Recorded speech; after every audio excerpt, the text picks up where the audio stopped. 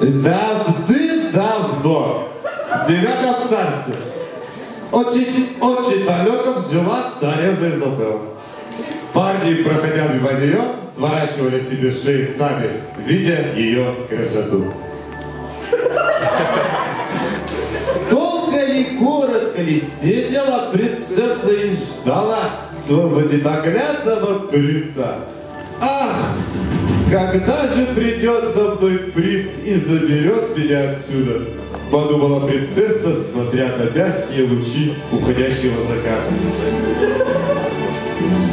Моя принцесса, я иду за тобой! Грозно произнес принц, размахивая своим золотым мечом. О боже! Подобно за мной! Нужно притвориться спящей. Так будет прикольный поржок. Ай. Я шел много дней прошел глубочайшие моря и высочайшие горы, убил злого дракона, и не только.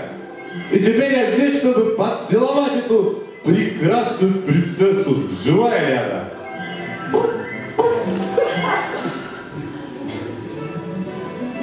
Э, это что за фигня? Ты что меня не целуешь? Что у тебя с лицом? Ты себя в зеркало видела? Подумай, что отлежала. 20 лет лежала и отлежала. Ну, как тебе это сказать? Ты это, стрёмная. Ох, ах.